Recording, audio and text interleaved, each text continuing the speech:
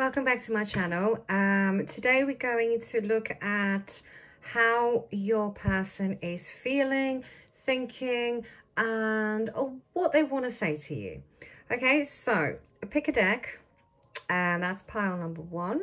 It's pile number two, and I will do your reading. Okay, that's the green one for pile number one, and that is blue one. Okay, so if you want to pause the video, take a deep breath, just go with the first one, like your first instinct, first intuition kind of thing, and pick. Okay, so we're going to start with pile number one. So let me put these away. So pile number one, let's see what your person what's going on with your person how do they feel about you? What are they thinking? And then we'll see what they want to say to you.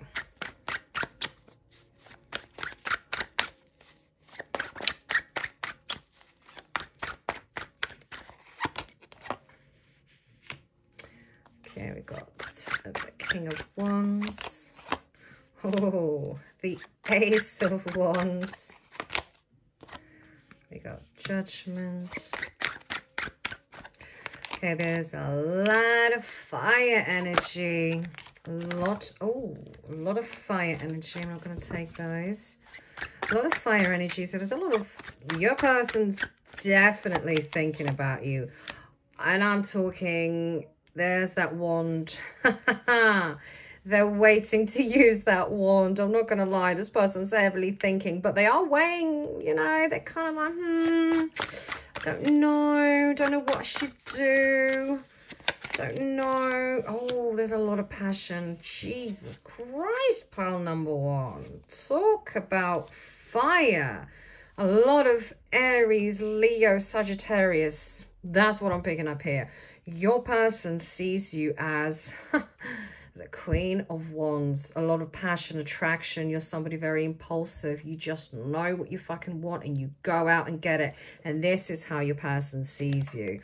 Um, a lot of attraction. I do feel that they're a bit weighing their pros and cons here. They still haven't made some sort of decision. That's what I'm getting from this card. They're, you know, they're very indecisive between their heart and their mind. Do I, do I not? Um, but look at that wand I mean, yeah, pile number one, there's a lot, a lot of attraction and a lot of happiness too. Now, I want to know if there's more to this, okay? So what is it that this person actually feels?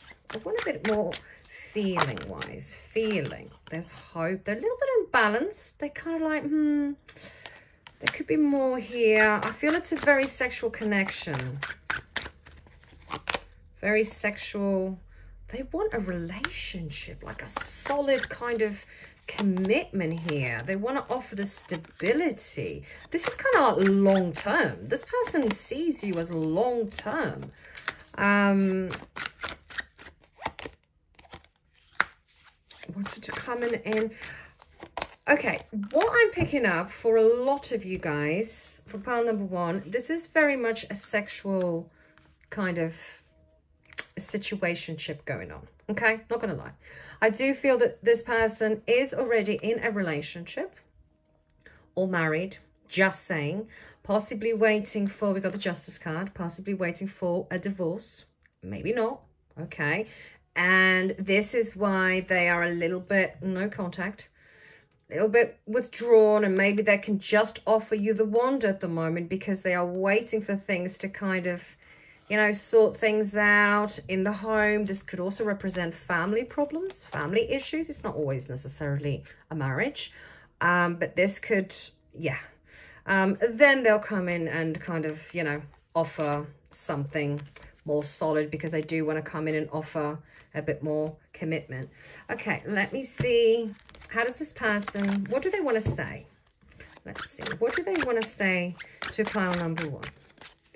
What do they want to say to pile number one? What is it that they want to say to pile number one? What do they want to say? They want to say that, bitch, I'm falling apart here. I don't know what to do. My life's turned completely upside down. Shit has gone down. I don't know what to think. I don't know how to approach. I don't know what to do. Do I go? Do I stay? This person's falling apart completely. And they want you to know that they are falling apart, basically, is what they want you to know. Um, I'm very confused. I've got so many blocks. There's so much in my head. I don't know what to do. Clearly. One more spirit.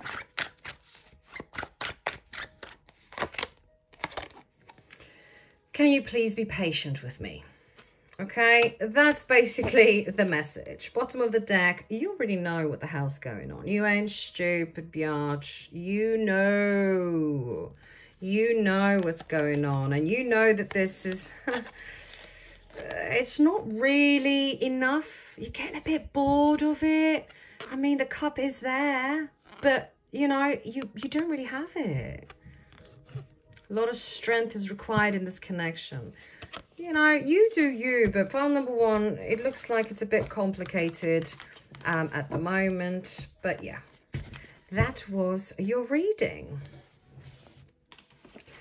Okay, so now we're going to do pile number two. You picked the, the blue crystal.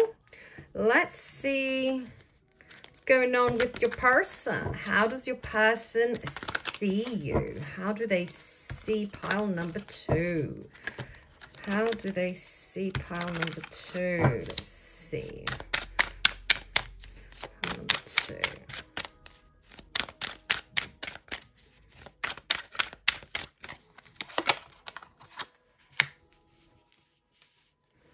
Okay, we got Ace of Swords.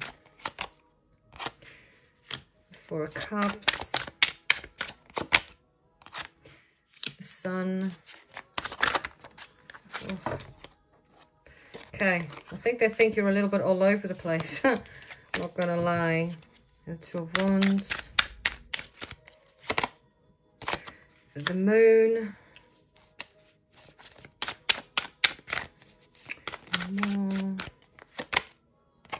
And the Lovers. Ooh, bottom of the deck, we've got the Devil.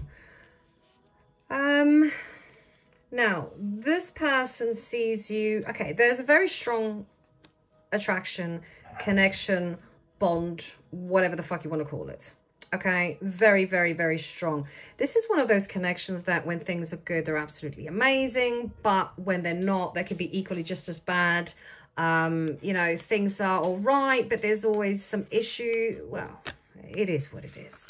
I feel that this person sees you as they as a closed book um, they feel that you're hiding something from them. They feel that you're not really showing your true colors, that you are, you haven't told them everything. You haven't opened up completely just yet.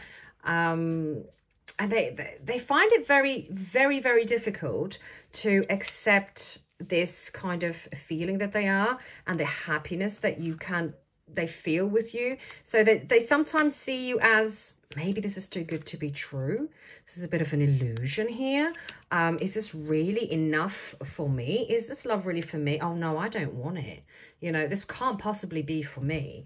Um, they, I feel that they also see you as somebody who's very, can be very, I don't want to say cold, but very airy okay you just say what you need to say you know what i mean there's no mincing your words you can come across a bit cold and you know um, but overall, they're a bit like, Jesus, I can't believe this person, you know, in a good way, in a good way, okay? Um, let's see how they feel about you. How do they feel about pile number two? How do they feel about pile number two, Spirit? feel about pile number two? Awakening. Hmm, they're still not quite there. They are still awakening to this idea of you. Is this real? Is this not? There's a lot of ego going on here. Um, they do they do worry about what other people think. Um, why is one of the magician? Um, bottom of the deck, hidden energy. We've got the Empress. So there is a very strong feeling here, but I feel that this is a bit of a burden for them. I can't help but feel that you know, this is very, oh, I don't know if I can do this. Um, there's still so much that I need to do. There's so much I need to learn. There's still so much I want to do in my life. I feel that they feel like you do acknowledge them a lot and do things for them and make them feel like they are the center of your of your world and they can and they see we got a bit of wish for you know I I'm not sure how to feel about feelings. I'm not getting feelings. I'm getting more admiration, um, more what you're giving them rather than how they actually feel about you. Do you know what I mean? I'm not seeing strong feelings here. Um, let's see what they want to say to you. Person want to say to pile number two, Spirit?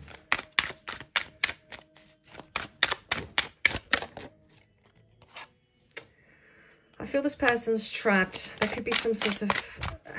I'm trapped. I'm, I'm dealing with some sort of mental health issues, past addictions of some sort is kind of what they're saying, you know. There's just, this person's very, very trapped.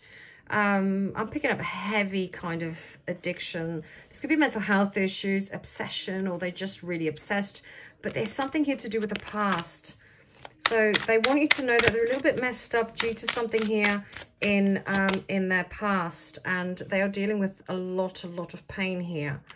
Um, is this why they don't feel? Because I'm not picking them up feeling anything, you know, loving towards. Yeah, they have. They're very closed off, hermit, and that is why.